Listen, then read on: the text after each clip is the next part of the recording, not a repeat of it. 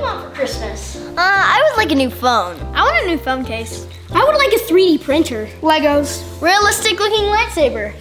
Um, I want a date with Cade's mom. Ah!